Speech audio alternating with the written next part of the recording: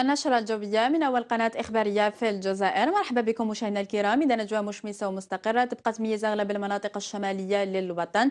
نهار الجمعة راح يكون تغيير في الوضعية الجوية. إذا الأجواء راح تكون مغيمة غير مستقرة. بعض الأمطار على كل الولايات الشمالية لكن راح تكون أكثر نشاطا على الولايات الجنوبية. نبدأ نشرتنا الجوية كما العادة بصورة القمر الاصطناعي. اللي توضح لنا سحب عابرة على كل المناطق الشمالية للوطن حتى على الجنوب الغربي نحو أقصى الجنوب الجزائري. إذا الوضعية الجوية للنهار الخميس نبداوها بحركة الرياح. الرياح راح تكون معتدلة نسبيا على أغلب المناطق الشمالية للوطن. تلحق سرعة الرياح إلى حوالي 40 كم في الساعة فيما يخص الولايات الجنوبية.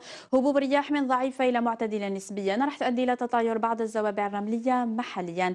إذا الوضعية الجوية اللي ننتظرها إن شاء الله في صباح نهار الخميس راح يكون ضباب خفيف على كل المناطق الداخلية الغربية. طقس مشمس إلى قليل السحب على الولايات الشمالية.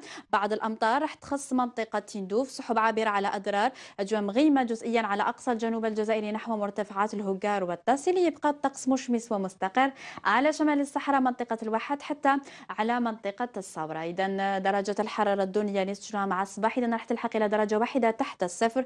كادنا مقياس راح نسجلوها بباتنا خنشلة بسة وباريكا درجتين على الغواط بسكرة وأفلو. قلمة السوق هراس 8 درجات على عنابة جيجة الواسكيك 6 درجات على الجزائر العاصمة بليدة بومرداس تنس وبهران. 4 درجات على معسكر وتلمسان.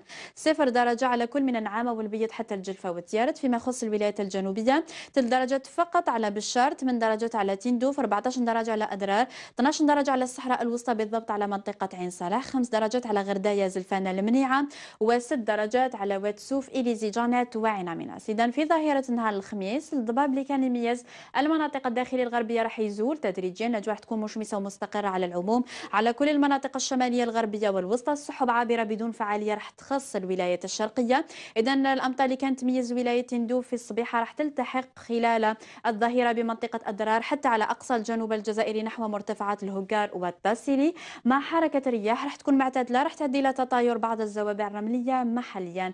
إذا درجة الحرارة القصوى نسجل إن شاء الله خلال خلال ظهيرة نهار الخميس. إذا راح تلحق إلى 16 درجة على بشار 18 درجة على تندوف 16 درجة على عين صالح. راح نسجلوا 24 درجة على أدرار تيميا ونرقان 22 درجة على التام 20 درجة على غرداية زلفانة المنيعة 28 درجة على مقياس بأقصى الجنوب الجزائري. مقاييس ما بين 16 إلى 17 درجة على السواحل الوطنية 18 درجة على معسكر وتلمسان 16 درجة على الغواط بسكرة وأفلو 15 درجة على قلمة سوق هراس. مقاييس ما بين 11 إلى 12 درجة على كل من باتنا خنجلة بسة قسنطينة وسطيف إذا البحر إن شاء الله.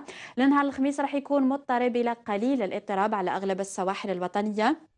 الرياح راح تكون متغيرة الاتجاهات تلحق سرعتها حوالي 20 كم في الساعة على السواحل الشرقية أو الغربية وتتراوح ما بين 20 إلى 30 كم في الساعة على كل السواحل الوسطى والشرقية للوطن. بخصوص الرؤية إن شاء الله راح تكون حسنة على طول الشريط الساحلي واتجاه الأمواج راح يكون شمالي غربي على كل السواحل الوسطى والشرقية وشمالي شرقي على السواحل الغربية للوطن. إذا وقبل ما نختم نشرتنا لنهار اليوم نتوجه بكم إلى ولاية بويره إن شاء الله نهار الخميس والجمعة الطقس راح يكون مشمس ومستقر على العموم. نهار السبت راح تكون فيه بعض القطرات من الأمطار مع درجات حرارة دنيا مع الصباح. راح تتراوح ما بين درجتين إلى 6 درجات خلال الصبيحه وما بين 11 إلى 17 درجة خلال الظهيره سرعة الرياح فيها ما راح تتعدى 30 كيلومتر في الساعة ورطوبة حوالي 65% في الأخير نختم نشرتنا الجوية بورقة المعلومات الفلكية اللي تخص شروق وغروب الشمس للجزائر العاصمة وبعض من ولايات الوطن.